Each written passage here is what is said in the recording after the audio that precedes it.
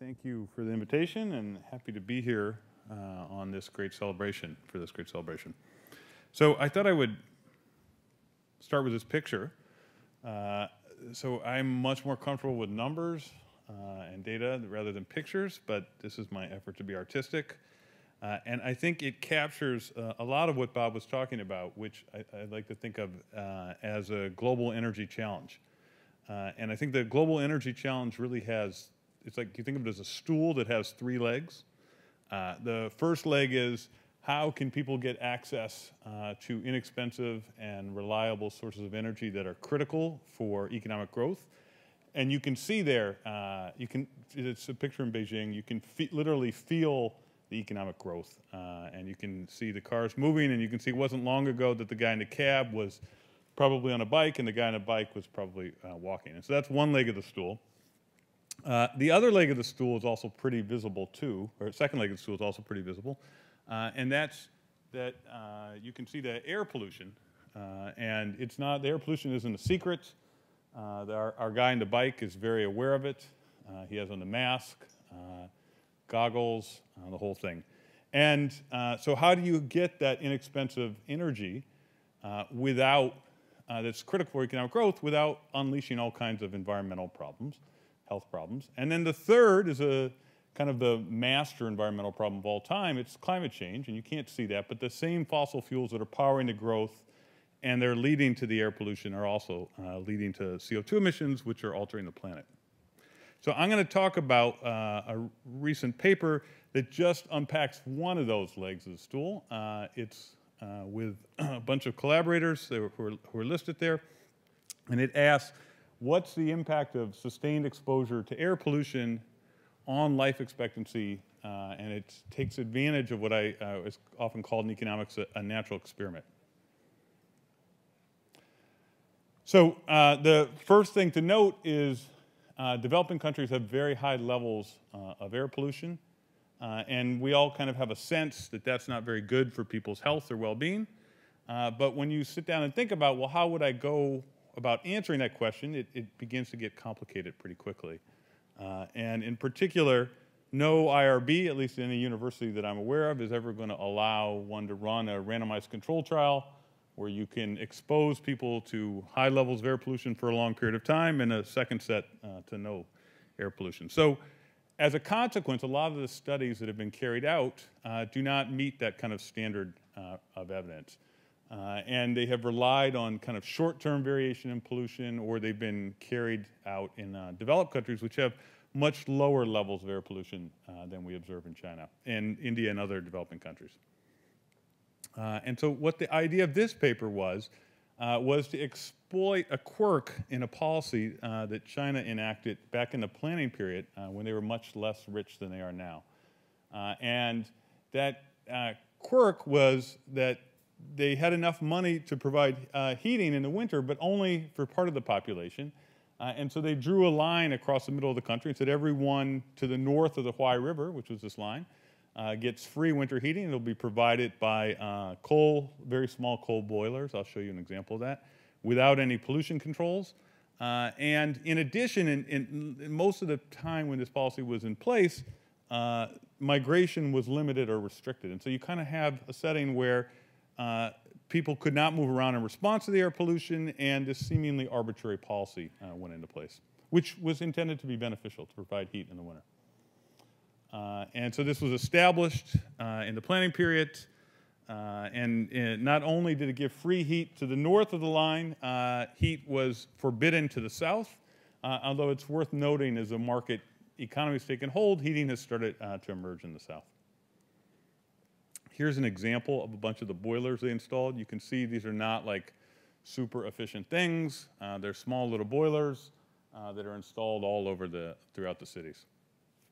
Uh, here's the Huai River, and then it, it extends a little bit, uh, the line uh, extends a little bit as you get west uh, to a mountain range.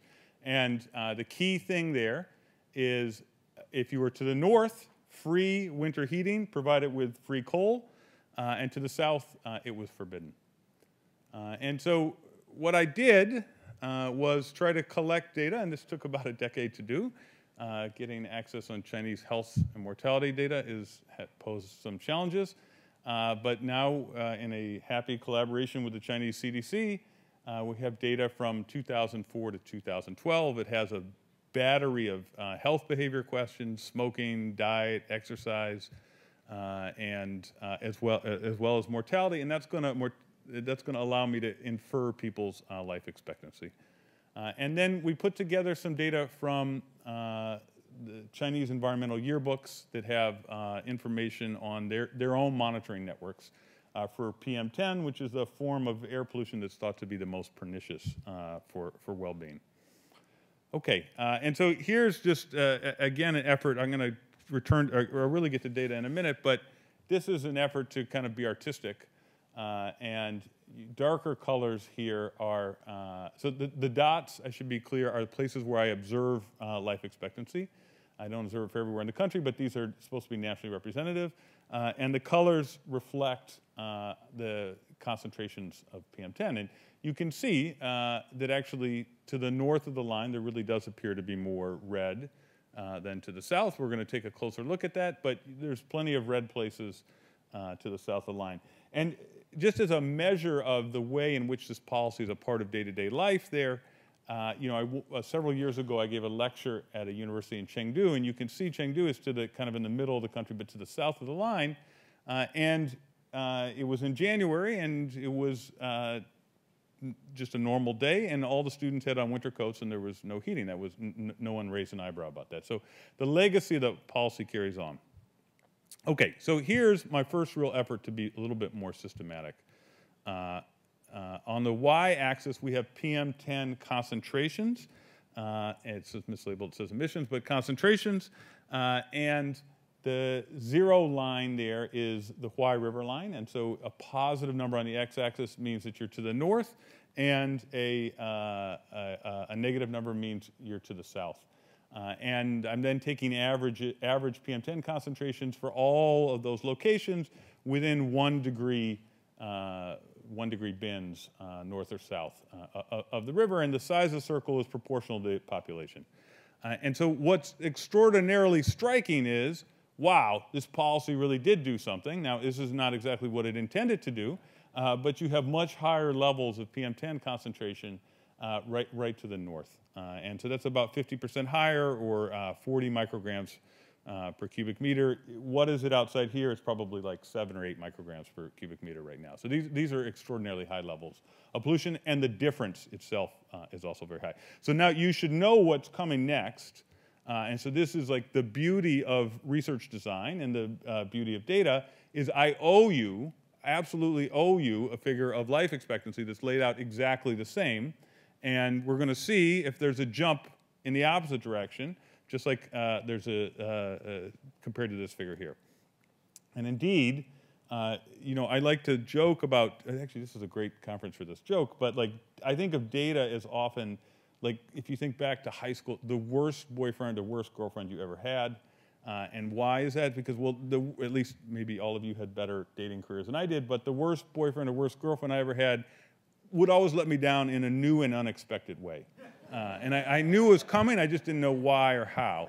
Uh, and so here's like an alternative. Uh, like data has not let down. I had a hypothesis that air pollution was bad, uh, and data seems uh, to support that. And it would suggest that if you live to the south uh, and to the north, and you're an intended beneficiary of this winter heating policy, you live about three and a half years less. Now, the whole game in this regression discontinuity design is, is there not whether or not things are changing to the north or south, but whether or not there's a discrete jump. Uh, and that's what the data appears to be trying to say about both PM10 and life expectancy. So I'm, I'm running out of time, but so let me just zoom through a couple other things that are supposed to make you comfortable uh, with the, that result I just showed. Uh, so I can also look at whether or not mortality rates vary uh, by, at different age groups. Uh, and what you can see, and this I will confess was surprising, uh, is uh, there appear to be largely elevated mortality rates throughout the life cycle, not just uh, among the young and the old. Uh, a second test, and I, uh, we were, my co-authors and I were very proud of this one, mainly because it was embarrassing how long it took us to think of it, but uh, we came up with, well, why don't we pretend that the Huai River was one degree north or one degree, two degrees north or three degrees north or one degree south, one degree south. And so all these fake tests. Uh, and so the blue is a test whether or not there's a discrete jump uh, in life expectancy at the fake Huai River. And in this case, I guess there's 10 of those fake Huai rivers. And the red is whether or not there's a discrete jump in PM10 at these other fake Huai rivers. And you can see there's no discrete change in PM 10 or uh, life expectancy at any other place except at the zero point, and that's exactly the Huai River. Uh, and so that lent us a little extra confidence uh, in, in, in, that we may have uncovered something causal. Uh, here's another test, which is just looking at whether you take all the covariates that we had in that data and predict life expectancy except PM, uh, does it look like it's different to the north and to the south? And it looks a little bit, but it would be statistically uh, not meaningful. Uh, and so here's a table we probably don't have time to go through, just showing that there's lots of different ways uh, in which you can implement these uh, regression discontinuity designs. And they largely, in the case of PM10 and in the case of life expectancy, uh, largely give the same answer. Uh, so here's, now here we'll move into like back of the envelope calculation land. So I have this estimate now of what the effect of an extra 10 micrograms per cubic meter of PM10 will do to life expectancy. What if China implemented throughout China a policy that brought its PM10 exposure down to not what we think it should be in the US, but down to China's own standards. Uh, and so China has two standards.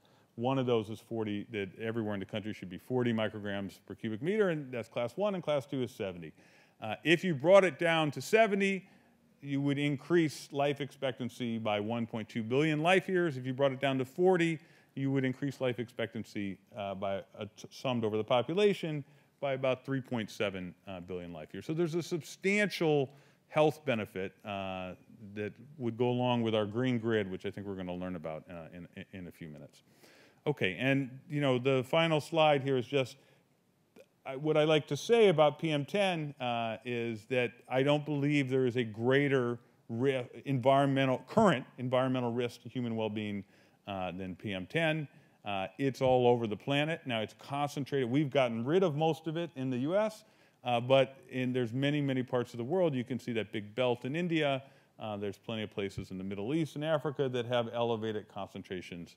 In this case, it's PM 2.5. But the, the main point is particulate matter is in places where billions of people live, and I would contend there's not a greater risk uh, to human, environmental-based risk to human health than PM10. Thanks very much.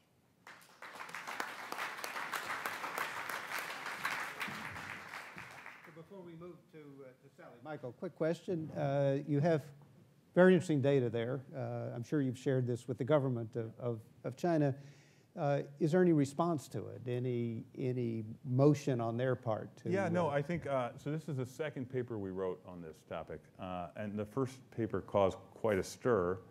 Uh, and uh, look, many Chinese who, they make policy in the way they want to make policy, and there's many mothers of change, but after our paper was released, it is true that the premier declared a, war, uh, a war on air pollution, and they have since instituted a, a, series of policies that have brought down PM10 levels quite a bit. Yeah.